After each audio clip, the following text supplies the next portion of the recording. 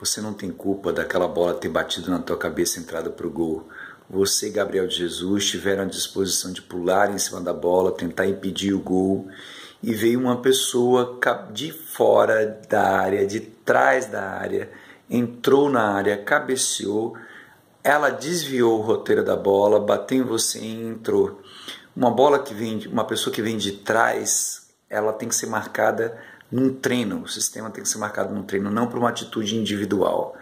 Então você não é culpado por a seleção brasileira não ter treinado isso, não ter previsto um tipo de jogada como essa. Ao mesmo tempo, quis o destino que a própria Bélgica, que fez o gol dessa natureza no Brasil, fosse eliminada exatamente com uma bola que foi desviada na cabeça do zagueiro que a gente na seleção, na televisão, no momento do jogo não percebeu. Coisa do jogo, isso acontece. Você é um bom jogador, joga bem, o campeonato europeu e deve continuar na seleção. É, nas próximas, pelo menos nos próximos dois anos. Sucesso!